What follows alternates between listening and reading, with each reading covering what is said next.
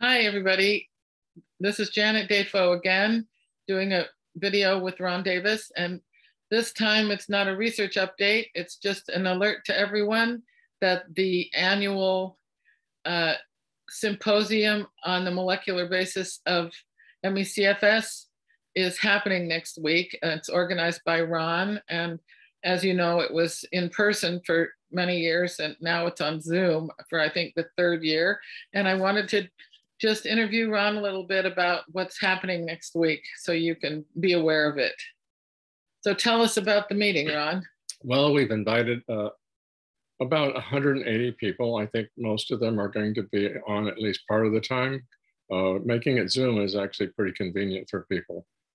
Um, so what's the meeting about? Well, it'll it will be focusing on the molecular basis. Uh, we really need to figure out the molecular basis of ME/CFS uh, there'll be very little discussion about uh, treatments or symptoms.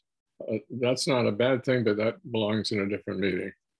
Uh, if we can figure out the molecular basis of it, we stand a, a really good chance of curing it. And that's the reason to constantly focus on the molecular mechanism.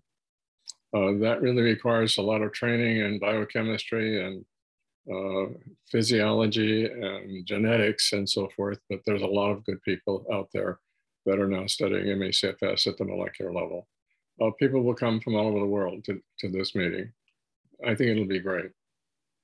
So you do focus on research that's likely to provide answers to the patients, right? It's not just an esoteric thing about what's interesting about the disease. No, it's not focused what uh, what's interesting. It's really trying to drive what is actually causing this disease. And people have a lot of ideas, but now you have to test them. And uh, these will be things that are done that, test these ideas. Some are very hard to test. Uh, and being inhuman, you can't do very much in the way of, of probing and experimentation. Uh, but still, I, I, think this is the right thing for us to be doing because I want to try to figure out a cure for this disease. Not me necessarily personally, but try to get the community to be able to do that. Um, there's, uh, there's a little too much focus on just measuring things and not trying to integrate what it means and how we can use it. And I want to get away from that. So um, I know that you're working on things in your lab like the itaconate shunt and the metabolic trap, which are hypotheses about the cause. What do you um, think about people uh, outside of your lab? Are, are, there people outside of the lab that are working on things that you find um, useful for figuring out the molecular basis of the disease? Uh, well, there are some people who have some ideas that it's you know it's caused by uh, autoantibodies. Um, that's possible. Uh, they need to try to evaluate that and see if that's the case. Um, you have a lot of people coming to the meeting. A lot of them are working on molecular aspects, correct? Yes. And, and uh, although we're not uh, exclusively by, uh, uh, bringing those people in, we're bringing in other people that have done a good job uh, of doing research in ME/CFS. Even some doctors are coming. Um, but uh, we're trying to convince them to keep focusing on the molecular basis of it, because I think that's the best way for us to get to a cure. I really think this thing is curable because there are some spontaneous remissions, and those people are totally normal as far as I can tell. And so it's not doing a lot of damage to the body, even though you might feel like your body is completely shot from all this disease. But I don't think it is. You mean not permanently? Not, not in a permanent way. That's right so do you feel excited about where we're at now with all the science that's going on around the world? I think we're in a much better place than we have been in the past. Uh, the really difficult part of this is the lack of funding. And a lot of people know that it's really difficult to get a grant if you work on ME/CFS. So how, how much optimism do you have about what the state we're in now compared to a year ago? I'm getting pretty optimistic that we're going to we're going to figure out uh, the underlying cause. Uh, there's a lot of good ideas. Uh, there's a lot of ideas coming back and re-exploring things that were talked about in the past. Uh, and some of those actually may be quite relevant. And also tr uh, trying to bring in other, other data uh, into this field that from like heart disease and so forth that actually might be relevant. Uh, there's long COVID. Uh, long COVID uh, work is often totally dismissing of ME/CFS, so it's not necessarily very relevant. And I don't have any of those talks. A, a few of them will be there or mentioned. Uh, but we have invited uh, long COVID people to come to this meeting so that they can be more connected to what the MS, ME/CFS people are doing, correct? Yes, yes, that's correct, because it's no reason to reinvent the wheel. Uh, I really would like to see any of these big grants on long COVID required to have a person that is an expert in ME/CFS to make sure that they don't forget that. And uh, a lot of the publications on long COVID are totally neglect uh, the past history of ME/CFS, and that's a, that's a that's a travesty because it's just a lot of wasted effort. So I know that the patients would love to see videos of all the talks. the meeting is going to go from Tuesday to Friday from 8 a.m. to 1 p.m. to try to um, make it possible for people in different parts of the world, time zones, to be able to participate. Um, but uh, we're not recording it. You want to talk a little bit about why, Ron? What I want people to do is to talk about their unpublished data as much as possible. They first have to get background of where they, they got to this, but it'll uh, we want them to be able to talk about unpublished things and feel safe about it. Uh, because if it turns out to be a, a, public meeting and people don't realize that and go talk about it to somebody else and it gets put out in Twitter and whatever, it, it becomes uh, actually divulged. And that can actually cripple people's being able to get it published. It also would uh, cause nobody to get a patent on it. And patents can be extremely important for, uh, for disease research. Um, because if you have to go to industry to get something produced, uh, they need protection uh, for all the effort they put into it, and they simply won't do it if there's no patent. So uh, we have to protect the patent, we have to protect the, the, the researchers, and uh, they have to feel comfortable about it. And, uh, it, and it doesn't matter so much if it turns out, well, that's not correct. Uh, we, that's what we do on a daily basis, do experiments and then try to determine whether that's actually correct or not. And maybe do some more experimentation. So it's, it's, really important to rule out things that are wrong so other people don't go down that path too, right? Oh, yeah, absolutely. That's absolutely right. But it can help other researchers to uh, to know some of these things, uh, and they might they might say, "Oh, I was going to go do those experiments, but gee, he just talked to me about that," or she. Or they might decide to collaborate and do it together. If you see some aspect of it that is not done, you can talk to them about it Many collaborations have come out of your meetings, isn't that true? Yes, that's correct.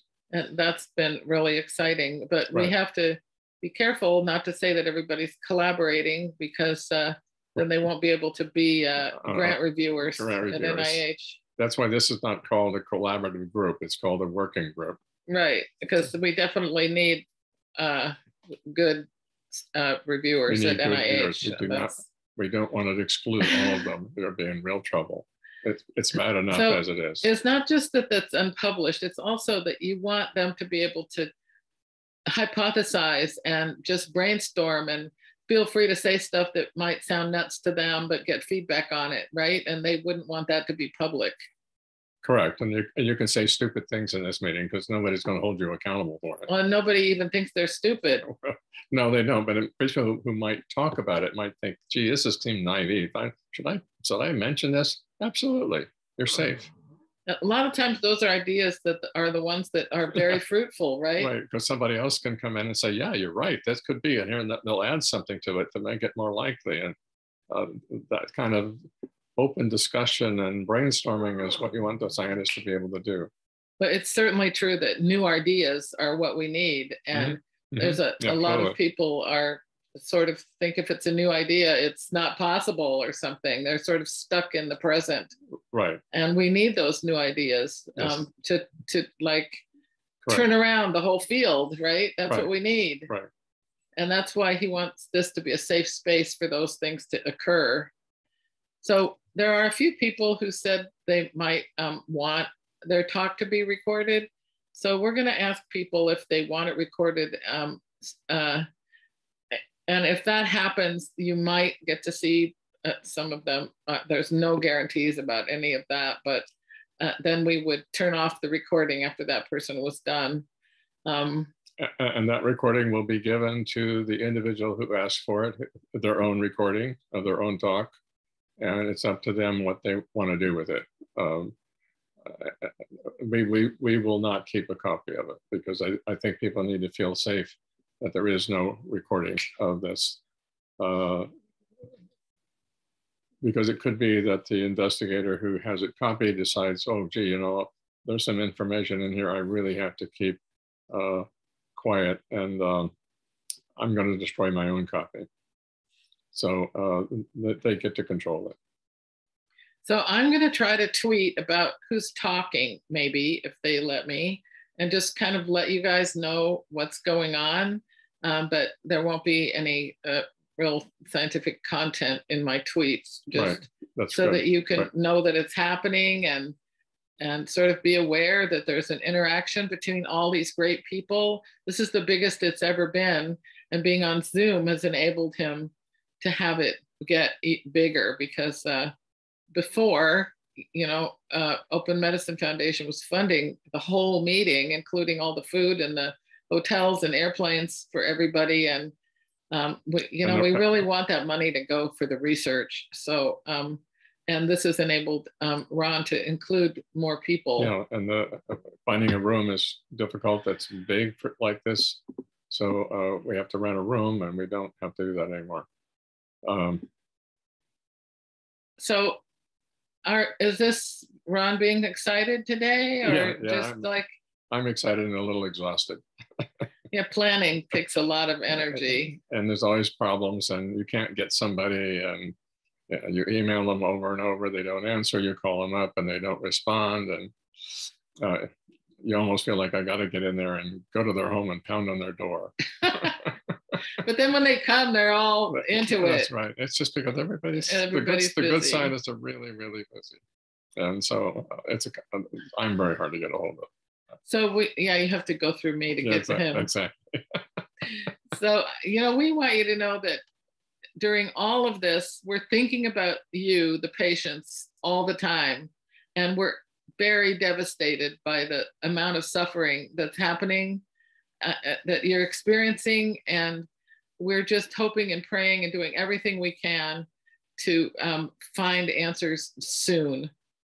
And I don't think Ron has ever been more optimistic than he is right now about that that might be somewhat soon. Although, as you know, science isn't predictable, yeah uh, it's, that's unfortunate you're not you don't know you're there until you're there but it does seem closer than it ever did, right? It does because we understand a lot more about it, uh, the disease now, and we have a lot of really pretty good ideas about what might be a, at least a component uh, of what's going on.